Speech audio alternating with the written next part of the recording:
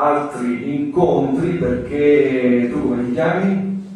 Tu che mi hai proposto di altra arte. Ah, eh, Michele Lella. Michele Lella mi, poco fa mi ha proposto fare, appunto di fare degli altri incontri che forse faremo non questo martedì ma quell'altro. Parleremo proprio di all'origine fu una vibrazione. Chi è che ha scoperto il funzionamento del DNA dal punto di vista frequenziale? Ultimamente è un russo, Piotr Gariev, che ha scoperto addirittura che non solo il DNA, lo si sapeva già da prima, è a sezione aurea, ma addirittura ha scoperto che si comporta come una radio rice trasmittente che lavora a 150 milioni eh, di hertz. 150 megahertz, sì, scusi, ho indovinato, 150 milioni di hertz, 150 megahertz non mi sto a, dilungare, però ve lo dirò in quella circostanza perché noi vediamo il colore blu, perché la luce invece non dovrebbe avere colore, è diafana. Perché vediamo il colore blu, ce lo spiega Gai, ma non ve lo dirò prossimamente, altrimenti andiamo fuori seminato. Questo è uno dei miei maggiori fisici eh, che eh, da un punto di vista musicologico possiamo considerare. Lo vediamo John Keely eh, nel suo laboratorio del 1889. Eh, John Keely ha costruito dei sistemi antigravitazionali basati sugli ultrasuoni, eh, però come al solito era contemporaneo di Edison, eh, è stato messo da parte dalla stupidità eh, scientifica ufficiale.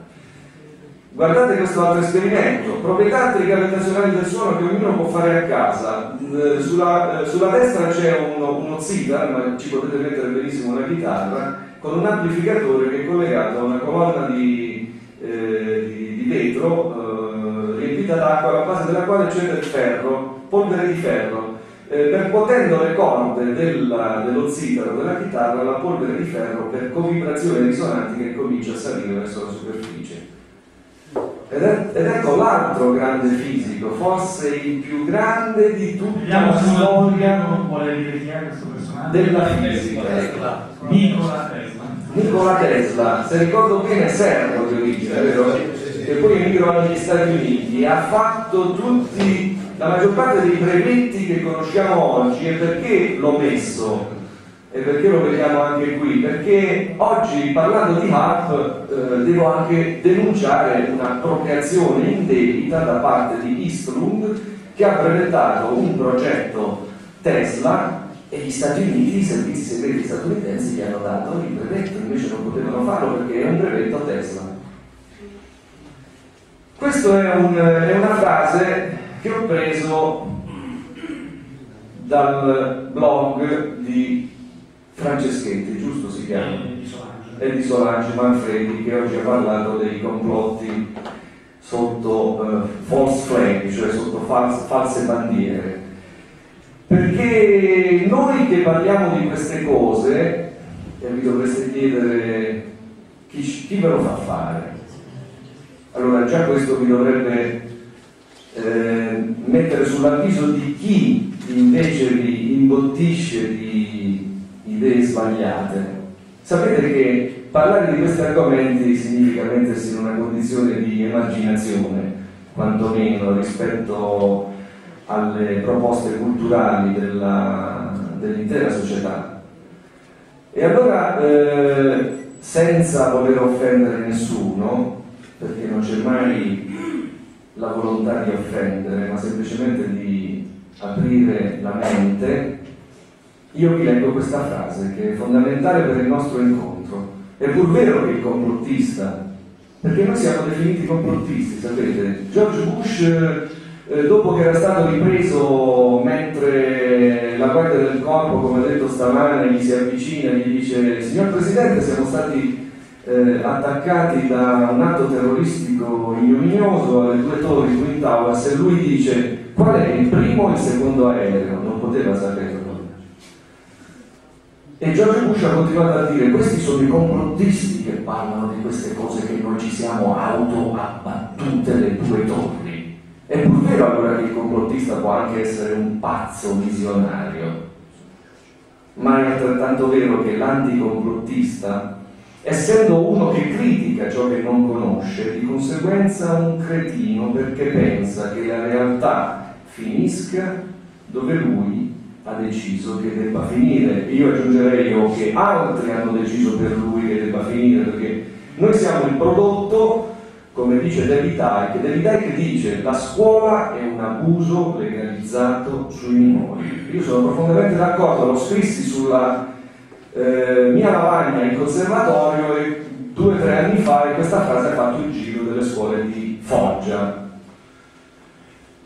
Siccome dobbiamo parlare di ionosfera, perché la HARP eh, lavora sulla ionosfera, la ionosfera è quel, quella sorta di bolla di sapone, mi piace chiamarla, bella spessa che va dai 60 fino ai 500-550 km di altezza, eh, che emette una risonanza. Sapete che ogni volta che c'è un involucro che racchiude un altro corpo, come succede in musica, inevitabilmente c'è una risonanza, c'è un suono in pratica.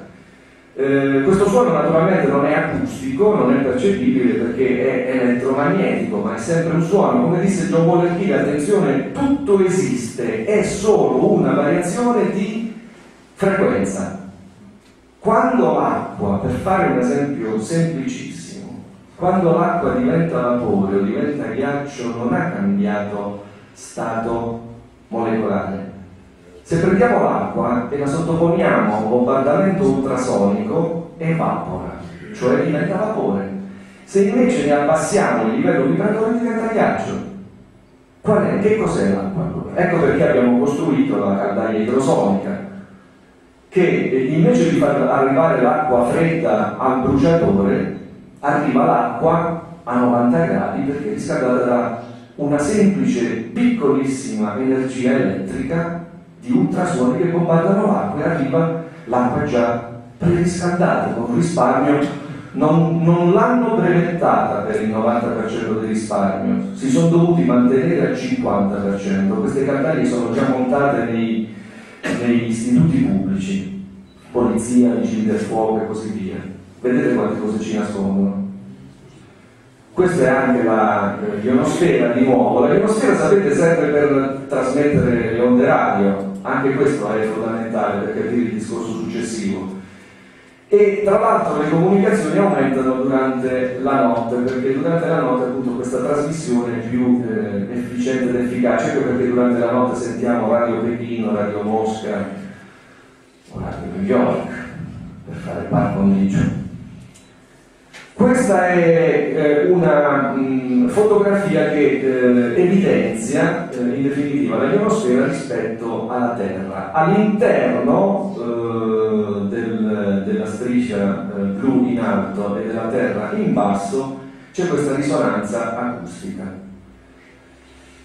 Dove ha sede HARP, High Frequency, cioè eh, questo sistema di ricerca sull'aurora attiva, a Gacona, in Alaska, a 300 km a nord di Anchorage, vedete in, a, a, sud, in basso, che è una delle città più importanti eh, del, dell'Alaska.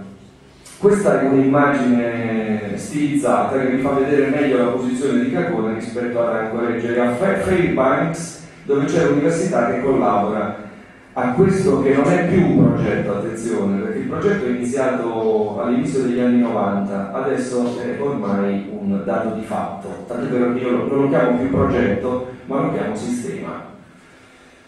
Questo è di nuovo Cacona ed ecco che cosa si vede eh, dall'alto delle montagne, eh, delle colline circostanti, in fondo vedete l'osservatorio, quello che viene spacciato come osservatorio, vedete Ionosfera, Ionospheric Research Observatory, ci sta scritto all'entrata di questa struttura, che invece fa tutt'altro. Eh, ci sono queste antenne che sono 22 metri di altezza, di 22 metri di altezza, ce ne sono 360 ormai, che sono in grado di sparare a terra attraverso la ionosfera fino a 10 gigawatt, 10 miliardi